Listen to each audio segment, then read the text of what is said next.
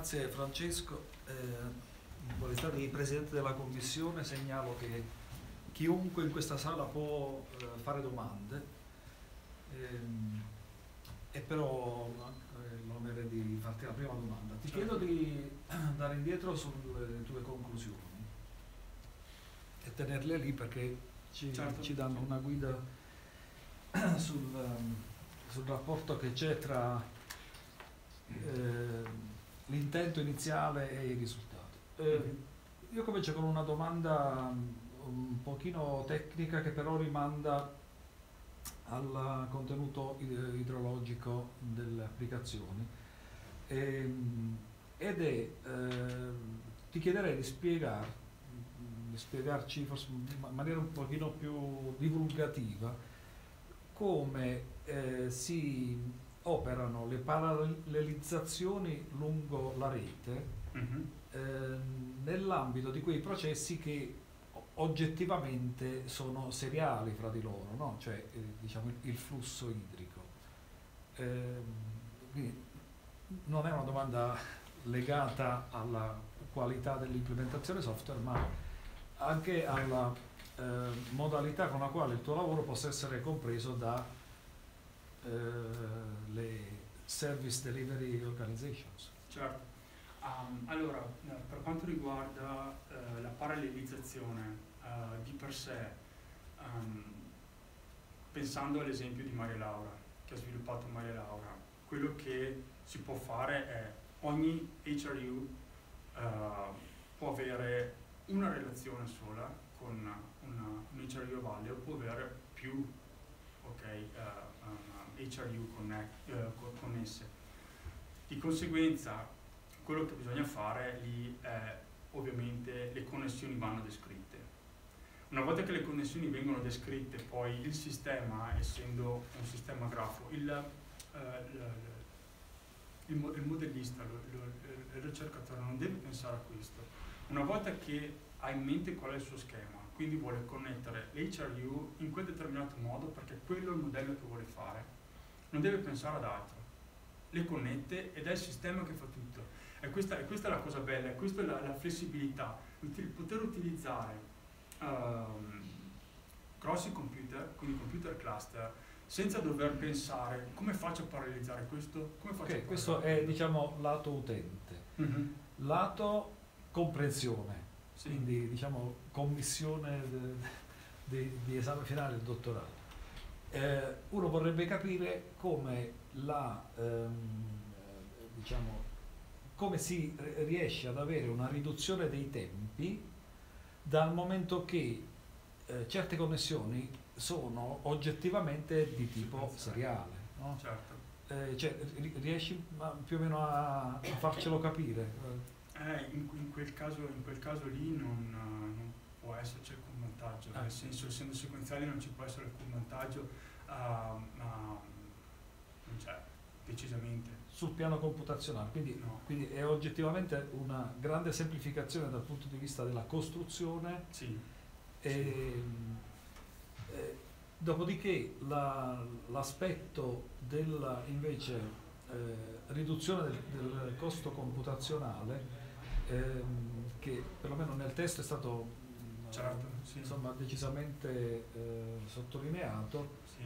riguarda eh, per esempio le componenti di applicazione Swim ehm, e vorrei che tu ehm, proponessi una eh, diciamo così, revisione critica di qual è il rapporto che, che eh, una organizzazione, quindi ancora una volta lo vedo da questo punto di vista, possa eh, intravedere tra i costi di inserimento dati o comunque setup Mhm, e quello che può eh, invece eh, essere il vantaggio di, dal punto di vista computazionale. no? Con un esempio legato esattamente con riferimento ai tuoi esempi. Cioè, il- il- eh, perché il setup Eh, normalmente ha un, un suo diciamo, valore È una parte molto rilevante. importante e molto lunga, decisamente. Ah, quello eh, da un punto di vista di setup, quello che stiamo cercando di fare, allora, è,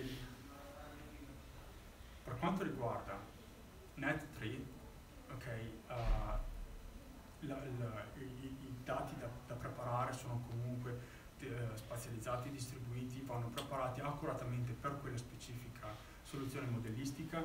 Quello che possiamo fare noi come, come grafo è se abbiamo uh, soluzioni modellistiche uguali in almeno, parlo di um, ehm, HRU in montagna, okay? possiamo far sì che quella parte di, di DSL venga scritta una volta sola quel set di, param di parametri venga scritto una volta sola e la, la, ed eventualmente si ha ancora una volta un incap incapsulamento della, uh, di dati e soluzione modellistica. Quindi volendo modificare tutte le parti di montagna vado a lavorare lì, solamente lì. E quindi questo già semplifica un po' il numero di parametri che il modellista deve uh, modificare per, uh, la sua, per, per lanciare la sua simulazione. Questo è quello che stiamo facendo con, con Daniele, quindi stiamo mano a mano vedendo anche come la miglior strategia per semplificare questa parte qua, perché non è detto fatto, ci vuole un po' di tempo ovviamente.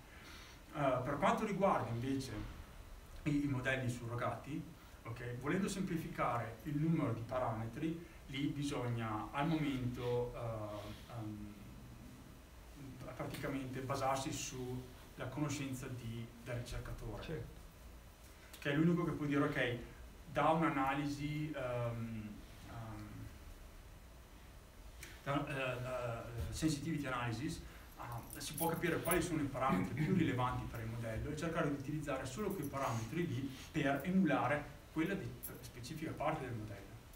Eh, questo, questo, è quello che si può fare in queste due, in queste parti, però serve ancora il ricercatore, la, la, la conoscenza del modellista in entrambi i casi. Posso aggiungere Come? su questo? Riguarda, io leggendo la tua tesi sulla parte della parallelizzazione implicita ho avuto una percezione un attimo diversa, quindi volevo essere sicuro, sì. cioè che la parallelizzazione implicita in qualche modo nascesse dallo studio del grafo, cioè di come le cose sono certo. connesse sì. e che quindi in qualche modo se ci fossero delle infrastrutture un particolare core, un CPU potesse gestire tre connessioni, ad esempio l'hydropower, mentre un'altra parte poteva gestire tre sottobacini.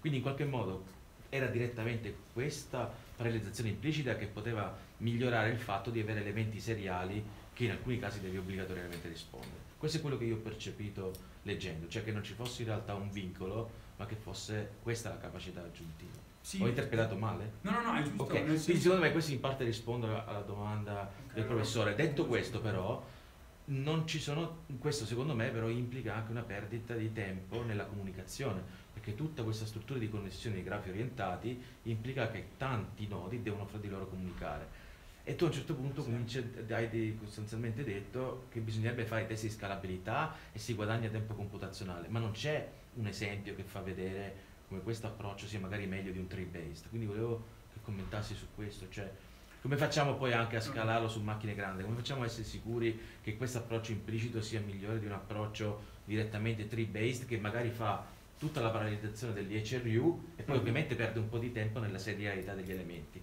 Cioè come facciamo? Puoi commentare su questo? Certo, allora per quanto riguarda la scalabilità, la scalabilità è proprio un, un, un, modo diverso di implementare il grafo. Quindi devo ripensare tutta la parte di parallelizzazione perché si, si, si, si va a lavorare su MapReduce, quindi io vado a mappare sul numero di, di macchine che ho a disposizione a seconda ovviamente dell'idrologia del bacino.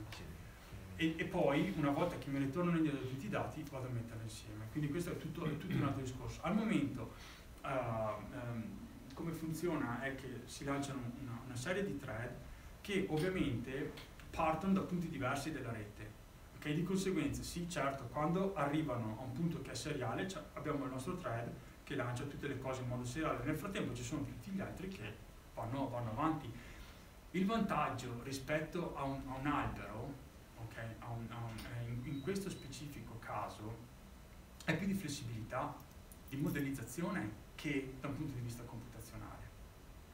Eh, però la flessibilità sì la puoi anche avere in altri tipi di modelli. Cioè un, eh, sì, però un, un, albero ti permette ovviamente da due figli di avere, sì. due o tre figli di avere un padre solo. Ok, se io invece ne voglio avere due, mm-hmm. perché voglio studiare una determinata opera di presa, come faccio? Il grafo è l'unico modo E per come è stato implementato il grafo, possiamo implementare un nodo, ok, e questa è la, la cosa che mi aveva guidato, implementare un nodo per decisamente studiare solo l'opera di presa e poi via via la parte di, di tutta la canalizzazione di un mini, hydropower. Quindi è, questa è più eh, il grafo rispetto a un albero, non è tanto da un punto di vista computazionale, di tempo computazionale, ma di flessibilità modellistica. Ok, questo sì, però diciamo, a un certo punto facevi anche menzione comunque di tempo computazionale, paralizzazione implicita. Quindi... Sì, sì, okay. però non ho, non ho fatto un okay. confronto, è interessante, è sicuramente qualcosa da fare, però al momento okay. vedo più un vantaggio modellistico che di flessibilità, perché poi ci permette di fare quello che è stato fatto uh, qua in questo caso qua, dove si possono mescolare modelli e, e, e ci si dimentica. Sì, sì, ma mi era chiarissimo il vantaggio dal punto di vista diciamo, del mettere insieme gli oggetti per creare modelli complessi con linguaggi diversi. Questo mi era assolutamente certo. chiaro, era la parte sulla scalabilità. Che era di per sé puoi fare anche crowd, crowd, crowd um, simulating, nel senso che siccome è, eh, puoi attaccare i pezzi insieme, eh, lo possono fare anche due persone separate e dopo ah, certo. si, si, può, sì.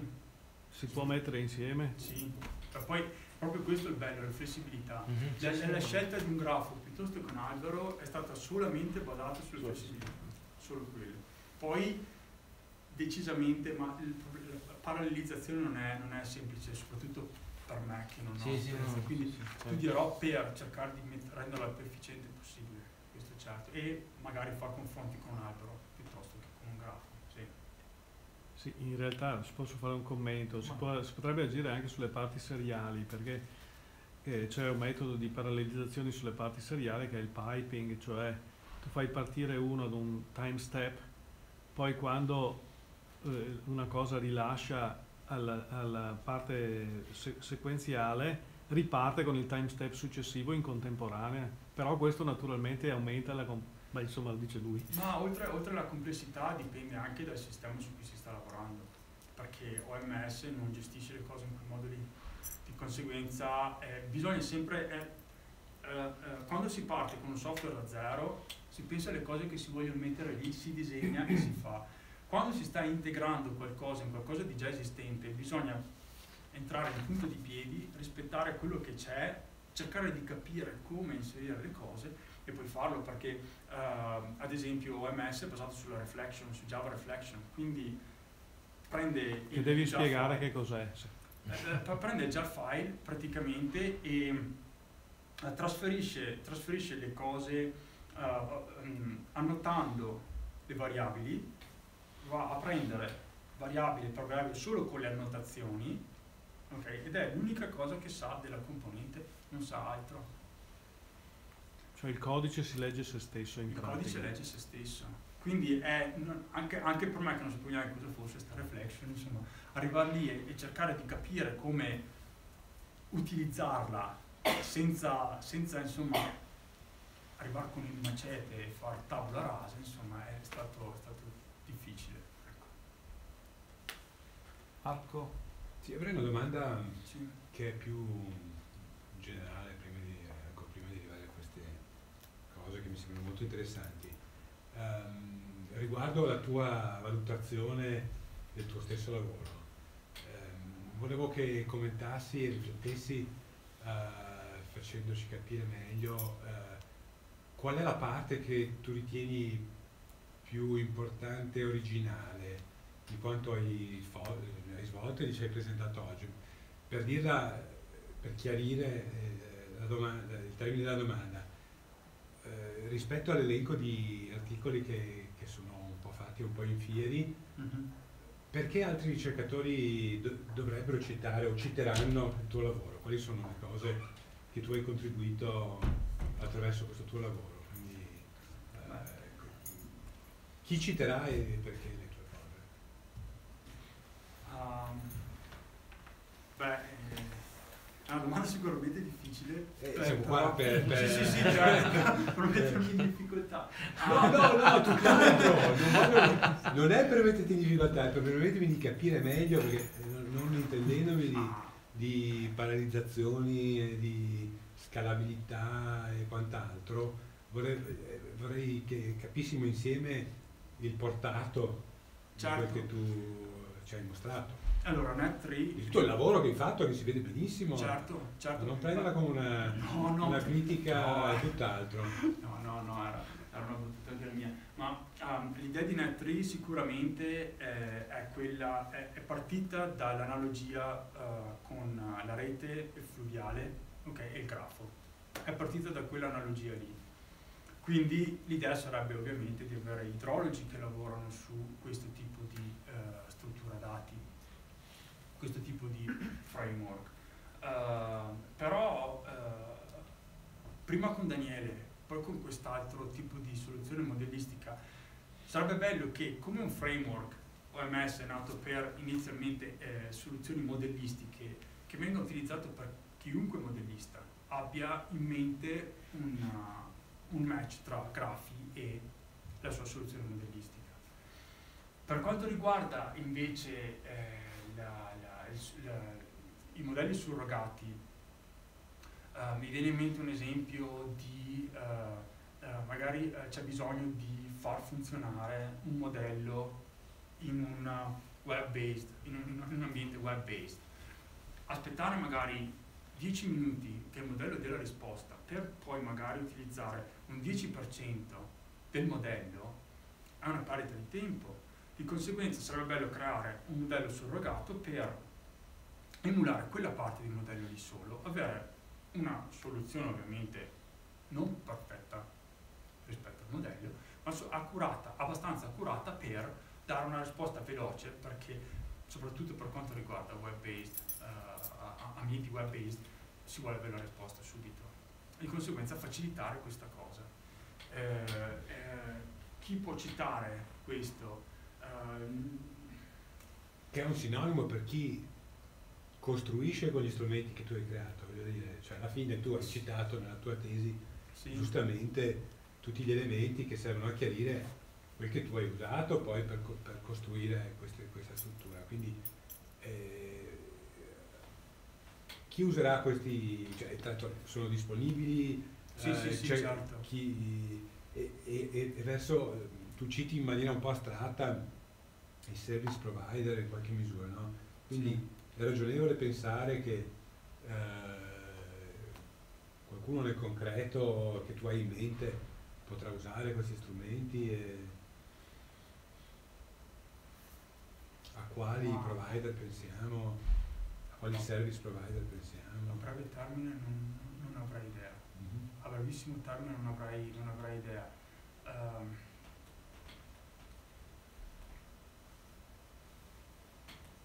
mm, Vabbè, alla sua Beh, forse perché- potrei, I eh, padovani. potrei dare, no, potrei dare una visione io perché eh, non so quanti nel- in sala sono, siano a conoscenza del fatto che sono stato anche revisore della prima versione della tesi, dove Mhm. avevo, avevo espresso eh, diciamo, un punto di vista un pochino con, un po' con i piedi per terra no, rispetto alla eh, modalità di utilizzazione del modello surrogato. Eh, in effetti, rileggendo e ripensando a, a- a questo impianto, eh, indubbiamente si rileva che eh, la fisionomia di, questa- di- di questo lavoro è abbastanza diversa da quella dei lavori a cui siamo abituati.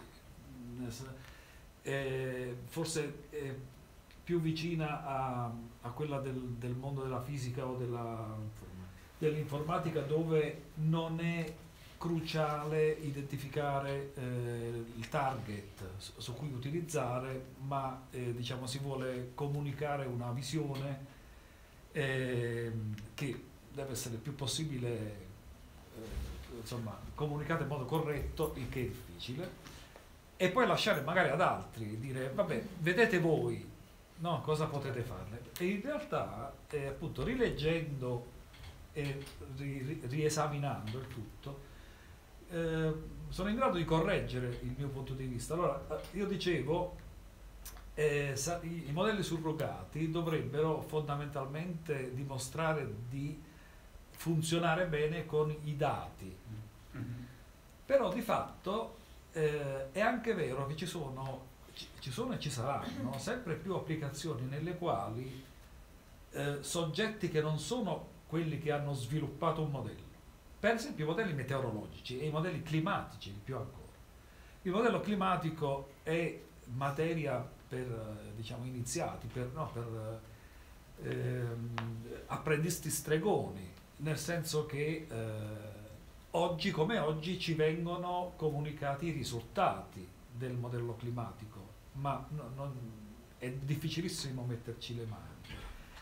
Eh, intravedo sulla realizzazione dei modelli climatici, quelli che insomma propongono gli scenari futuri del clima, delle applicazioni interessanti del surrogato per coloro che volessero eh, farsi un'idea magari locale di, di, ciò che il modello climatico propone senza né poterci mettere le mani e né certo. doverci mettere le mani. Sì. E, e, quindi eh, così è, è, trovo veramente interessante un, uno spunto eh, di, di, di contributo che adesso è in un ambito idrologico, potrebbe essere in un altro ambito, ma che eh, effettivamente è, è, in grado di, di insegnare qualcosa eh, in, eh, in, un campo in cui oggettivamente noi ci siamo sempre affidati a esperti, no? cioè, mm-hmm. della serie a me non interessa tu come fai l'algoritmo, io ti dico qual è il fenomeno da modellare, guarda tu e cerca di farlo anche veloce. No? sì. eh, adesso tu ci, eh, ci, porti un po' dentro a dire guarda che si potrebbe fare così, eh, insomma, ragionandoci su effettivamente trovo, eh, trovo spunti mm, veramente promettenti. E concordo pienamente perché in ambito meteorologico eh, c'è tanto, anche in letteratura, soprattutto dal punto di vista di modelli ibridi. Quindi per uh, velocizzare la computazione, perché soprattutto con i meteorologici è, è, molto lunga, cercano di uh, cambiare, sostituire alcune componenti con surrogati. Quindi c'è, c'è, tanto anche da quel punto di vista lì, proprio in ambiente meteorologico. Ma, eh, sì. ma quindi tu per esempio anche nell'evoluzione, se parliamo dei modelli, come saranno i modelli idrologici fra dieci anni? tu prevedi che per esempio ci sia un'ibridizzazione da, tra modelli di tipo, eh, chiamiamolo meccanicistico, mm-hmm. e, e, e, modelli di tipo eh, machine learning oppure no? Perché no? Ovviamente non posso dire sì sicuramente, un po' difficile, però perché no? Sì, in alcune parti soprattutto, dipende, eh, il discorso è che dipende sempre dall'obiettivo che si vuole fare, perché se si sta studiando un determinato, a mio avviso, si sta studiando un determinato fenomeno e si vuole avere la certezza completa di ogni parte del fenomeno, non si può ricorrere a un modello surrogato ovviamente, ma se il modello surrogato va a sostituire una parte computazionalmente impegnativa, ma che solo una parte transitoria, eh, è perfetto perché dà una, una, un'accuratezza magari sufficiente per Ragionami su questo, io penso così, ma infatti secondo me è stata più convincente l'applicazione presentata su Rusle rispetto a quella del modello idrologico, perché su Rusle di fatto tu hai fatto in qualche modo un'analisi, hai ridotto lo spazio dei parametri in ingresso mm-hmm. e avevi una variabile target. Sì. E quindi in qualche modo perturbando lo stato puoi fare analisi di incertezza, reduction complexity. Certo. L'altro è un po' meno convincente perché di fatto per fare il training del modello hai bisogno di tutte le variabili di stato hai bisogno della P, della T, della neve, quindi di fatto ognuno di quelli ha bisogno che il modello venga sempre lanciato con tutte le sue connessioni con i database, le falsate e quant'altro.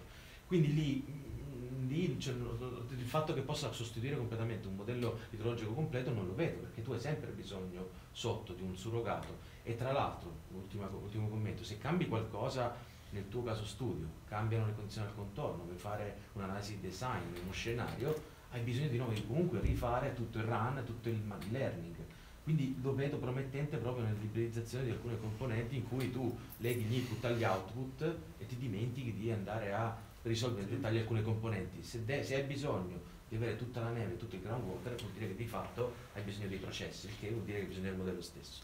Sì. Volevo commentassi anche su questo. No, certo. Allora, la semplificazione in quel caso lì è che da dati completamente distribuiti, ok? Abbiamo utilizzato un solo valore. Eh, però, te lo- però hai bisogno del modello per, per generarlo ogni volta. La serie temporale te la deve dare il modello. Perché la media te la deve dare il modello. La media Sì. di P, la media No, di GV, la vero. media di neve. Quindi di fatto tu non ti sei distaccato dal modello. Ehm, in quel caso lì l'applicazione, nel senso che se eh, si ha bisogno, ad esempio, penso a eh, monitorare Mhm. eh, la portata a un determinato punto del bacino e si prepara un, un modello surrogato per avere risposte immediate con un numero inferiore di dati, Mhm. ok, si ha la risposta immediata invece di lanciare il modello, ok, per quello specifico caso. Quindi conoscendo lo stato attuale, io però devo certo conoscere lo stato attuale, Quindi deve aver simulato. Sicuramente. Sì, sì, infatti lo vedo. o simulare o utilizzare Cioè io dati questa cosa qui per, per fisici. bypassare Sì. completamente i modelli lo vedo o nell'analisi di incertezza, Mhm. epistemica e parametrica o nello short term sostanzialmente. Sì, sì, sì, Cioè, almeno sì. questa è la- l'impressione che io ho ottenuto. Sì, sì, sì. Perché il problema, il problema in questo caso, sì. non sono d'accordissimo, il problema in questo caso è che bisogna eh, ehm, dire qual è lo stato del sistema. Quindi io devo dire quanta acqua c'è nel mio bacino. Non posso, le, reti neurali non hanno memoria da questo punto di vista, quindi devo assolutamente dire qual è la quantità di acqua e da lì partire con la computazione, sì, certo, senza dubbio. Beh, da questo punto di vista, evidentemente questa conversazione che già avete avuto in una fase precedente della, della- di questo processo di, di stesura della, della tesi, ma eh, leggendo appunto la tesi eh, è chiaro che la domanda che viene ovvia, e vorrei che magari ripetessimo parte di questa discussione che avete già avuto con, con il professor Claps, eh, uno si chieda perché, ha- perché, ci- perché cerchiamo di modellare il modello e non di modellare eh, in alcuni casi mi è chiaro perché, ma, ma perché allora, visto che il vantaggio è su, su questa stilizzazione dei processi e, e di stabilire di fatto una relazione tra input e output eh, arbitrariamente non lineare, perché non c'è una parte in cui si è valutato eh, quanto bene andasse questo approccio eh, nel mettere in relazione appunto input e output. Perché alla fine io vedo gra- molti grafici in cui si, vede, si confrontano eh, le risposte del modello Mhm. fisico eh, concettualmente basato e della sua controparte eh, ridotta, diciamo. Ma nel, nel- nel- confronto con le osservazioni aggiungiamo solo incertezza perché di fatto se io ho una- uno scatter no? tra, Mhm. tra- tra il semplificato e il modello intero, questa può essere vista come un'ulteriore incertezza nella, nella- determinazione della risposta del, del sistema Reale, reale. no? certo. Ma magari no, ma magari No, no. invece no, ma magari è il modello, il modello complicato che fa, che fa confusione. Sono d'accordissimo su questo, infatti il professor Claps mi aveva fatto questa, questa nota sulla- sulle- sui commenti. Ehm, è sicuramente un punto importante perché la stessa osservazione è stata fatta ad una conferenza, il discorso è che è molto interessante, però si aprono una serie di problemi ehm, eh, come overfitting per quanto riguarda il machine learning, se si inseriscono per lo stesso tipo di input sia l'output del modello che l'output eh, reale. Eh, e, No, eh, lascia stare il modello. Cioè, Buttalo via il modello. non dim- dimentica Eh, di eh, ma modello. Lavora solo sui dati. Cioè, eh, confrontati con la realtà invece che con la nostra rappresentazione della realtà, questo dico. Eh, è una cosa a cui non ho pensato, non ho avuto il tempo di pensarci onestamente. È sicuramente un punto interessante, ok? È Sicuramente una- una- un ottimo spunto sul, sul quale mi piacerebbe investigare un po'. Ah, al momento non ci ho ancora pensato. Perché dal punto di vista tu dici, no, è tutto un, un ragionamento sul eh, modelli aumentano la loro complessità e quindi alla fine sfuggono la loro complessità cresce talmente tanto che sfugge addirittura a chi in realtà poi li usa perché eh, sappiamo bene, se andiamo a guardare Geotop per esempio, eh, ci sono i contributi di, di persone diverse, ma ancora più se andiamo a guardare i modelli eh, climatici globali, non- c'è una persona che lo ha sviluppato, chiunque lo sta usando in un certo momento non ha una percezione chiarissima di che cosa succede nelle diverse parti. no. Quindi a quel punto il vantaggio potrebbe essere di dire, vabbè, sta esplodendo la complessità del, si- de- de- del modello, eh, eh, perché non mi metto in relazione direttamente con, con i dati? Se io sono un service provider che non vuole fare ricerca, ma vuole dare una risposta, Certo. mi confronto direttamente con la realtà, no? Certo. Questo forse sì, è un aspetto che forse potrebbe essere sviluppato ulteriormente. Perché ci fidiamo di più dei modelli che dei dati? A volte sì. I modelli ti, ti aiutano a capire la qualità dei dati, questo è sicuro. Sì. Questo è sicuro. Però anche questo tipo di modelli magari, no? Sì. Cioè, magari identificano l'impossibilità di mettere in relazione certi input con certi output, magari qualcosa non va nel modo in cui sono stati misurati o gli uni o gli altri, per esempio, no? Sì, sì, Posso, sì, certo. Da dire Galileo questo sconosciuto da questo punto di vista. Eh, sì. Eh, ehm, io, io volevo chiederti un'altra, un'altra cosa se posso, eh, che è legata ai- ai- alle reti neurali. Mhm. Allora, le- eh, ho cominciato a guardare un po' queste cose anch'io, così, leggendo, giocando qua e là, e ci sono alcune cose che, mi- che- che non ho capito bene, no? quindi volevo magari eh, provare a commentarle con te per vedere se tu le Certo. avevi approfondite. Sì. La prima cosa eh, riguarda la struttura de- de- dei- delle reti neu- neurali, sono Mhm. semplicemente, se uno va proprio all'osso, eh, c'è, una, c'è una trasformazione lineare, non lineare scusami, lineare. una trasformazione non lineare che poi eh, trasforma il dato in ingresso sul- su- sui neuroni in ingresso, li trasforma in un modo per cui dopo puoi applicare sostanzialmente una regressione. Mhm. Questo è ah, proprio all'osso quello, Certo. quello che fanno. Sì. Ehm, e traggono il vantaggio fa- dal fatto che queste, queste operazioni sono fatte su molti, su molti eh, neuroni. no? E Mhm. quindi eh, di- solitamente penso siano quelli che hai usato tu, c'è uno strato eh, nascosto che è quello che fa, che fa questa operazione e viene distribuito su molti neuroni. Adesso eh, stanno tentando anche di fare modelli in cui mettono molti st- strati nascosti e, e- e- e pochi neuroni che chiamano in modo molto, molto Deep aulico deep learning. no? Mhm. Ma sostanzialmente siamo, siamo sempre lì. Il problema su questa cosa che io vedo, eh, sono- ho, ho due dubbi su queste cose qua. Il primo è che nelle applicazioni idrologiche che ho visto, eh, chi ha fatto le applicazioni ha sostanzialmente preso eh, le strutture e le funzioni non lineari di trasformazione sviluppate in altri ambiti. Non ha pensato a delle eh, trasformazioni che vadano bene Mhm. o che siano ottimizzate per le nostre applicazioni. Quindi questo potrebbe già essere eh, un punto su cui, su cui ragionare forse. no? La seconda questione è che eh, le eh, applicazioni dove hanno sviluppato queste tecnologie sono applicazioni abbastanza diverse dalle nostre, sono applicazioni nelle quali c'è una ridondanza di informazione, l'informazione è enorme e l'azione è relativamente semplice da, da fare.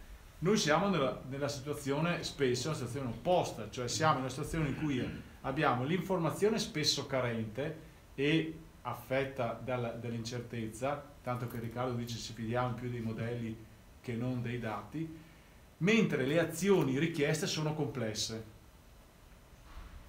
E quindi questo è un, è un- è un- è un settore estremamente interessante, però forse va adattato eh, meglio ai processi che studiamo noi. Questo potrebbe essere un ambito di ricerca anche abbastanza eh, importante e ampio. Volevo capire cosa, cosa ne pensi, se hai osservato queste, eh, queste mh, cioè se queste critiche che io faccio al, Mhm. al metodo sono legate semplicemente a una mia percezione distorta o non corretta eh, di questi modelli oppure se c'è qualcosa di vero in quello che dico perché io non sono sicuro cioè, No, no, no, te lo certo. dico perché non sono sicuro non perché, perché se, lo- se fossi sicuro non ti avrei detto niente? Certo. avrei fatto un'altra No, no, no, chiaro. Allora, eh, per quanto riguarda eh, le funzioni ok, non lineari di trasformazione, anch'io utilizzo una funzione standard che chiama Activation Sigmoid. e sigmoid, la, la sigmoid è quella che usano, Eh, esatto. che, usa- che usano tutti praticamente però gli ambiti di È leggermente diversa da quella lì.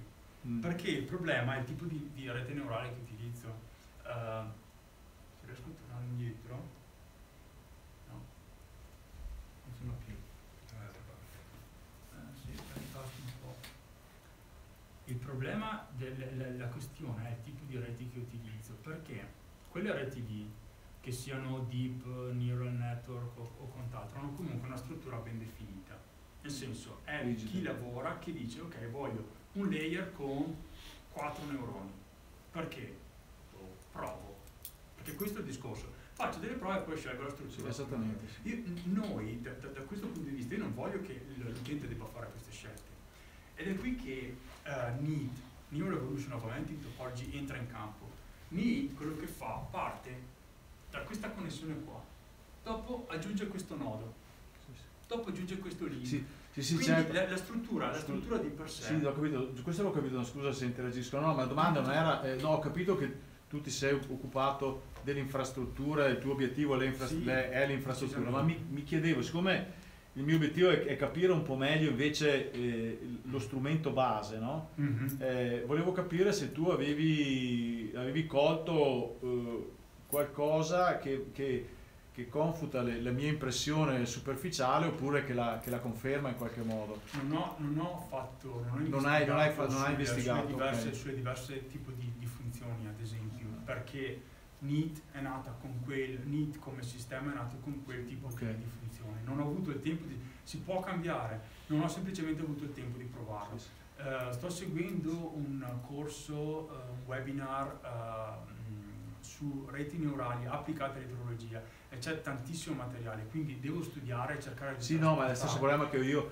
Cioè, cioè, più per, il momento ho, letto un po' di cose, però non ho ancora fatto applicazione, volevo capire se, eh, se appunto tu eri andato, eri andato un po' più in profondità su Da quel queste punto cose. di vista no, oltre al fatto che sì, per quanto riguarda il fatto che eh, dal punto di vista idrologico eh, dobbiamo rispondere a un sacco di domande, sì, sono d'accordissimo, infatti è per questo che l'idea del modello surrogato è quello di prendere un processo e rispondere a quella domanda lì. Per, per chiudere, la mia, la mia opinione è che, sulla questione detta prima, è che eh, i modelli ibridi, come, come li avete chiamati prima, io penso, poi magari sarò smentito, ma penso che abbiano un futuro, perché eh, in qualche modo mettono insieme due mondi che sono andati eh, in direzione, sono nati in maniera diversa, in ambiti diversi e che, so- che hanno, che sono andati, che hanno anche sviluppato le cose in maniera diversa. Ci sono vantaggi nei due mondi, quindi avere la capacità di mettere assieme probabilmente è una, una cosa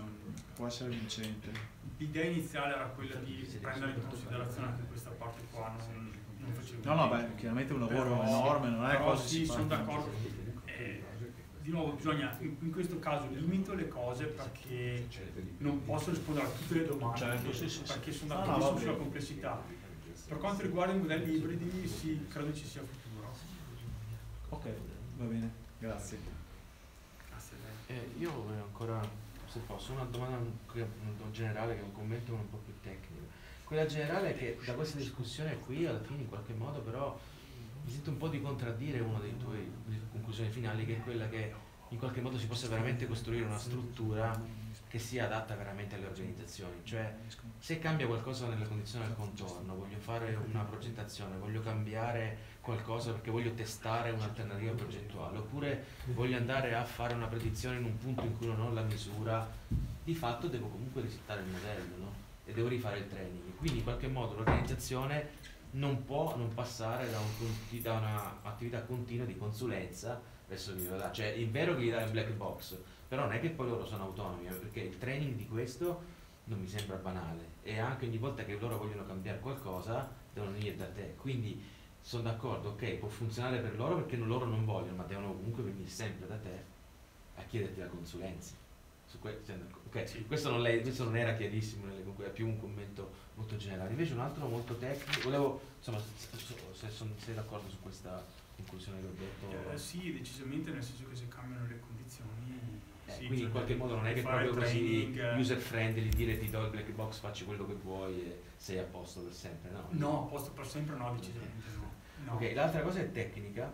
Ehm, di fatto tu hai parlato di incertezza epistemica sostanzialmente nei modelli AN, cioè tu puoi avere multiple combinazioni delle reti neurali e quindi avere un ensemble che non è parametrico ma è legato alla struttura del modello, tipicamente definizione di incertezza epistemica, però il modo in cui tu lo trovi è un algoritmo evoluzionario.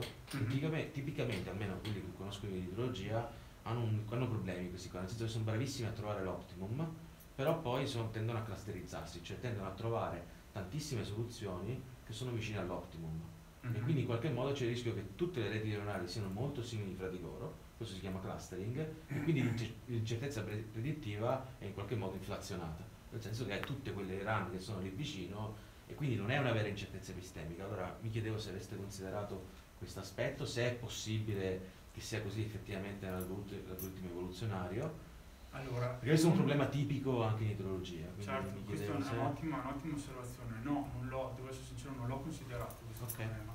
Eh, ho, sic- ho sicuramente analizzato le reti per vedere se c'erano effettivamente differenze, non i pesi, ok, Ok. le connessioni, però eh, soprattutto per certi problemi si varia da un numero di neuroni che va dai 29 neuroni interni, quindi siamo già nelle deep neural network a 48, 50. C'è una, c'è una grossa differenza perché eh, comunque il training è fatto anche su dati leggermente diversi. Ok, quindi perturbate dei dati, cioè cambiato un po', non è l'unico setup. Non è l'unico setup, perturbo anche i dati Ok. ed, è questo, ed è questo il bello del, Ah, ok. dell'esempio. Perché appunto in questo modo il eh, training e validation non è fisso. ok? Ogni volta eh, preparo una rete con un- due subset diversi.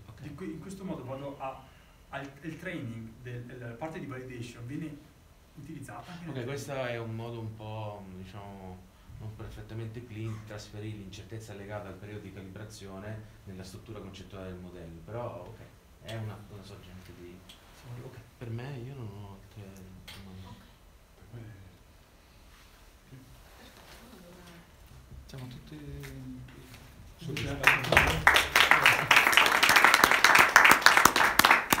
Grazie Francesco. Grazie a voi. Grazie. Proviamo un po'. Ciao. Sì. Finiamo.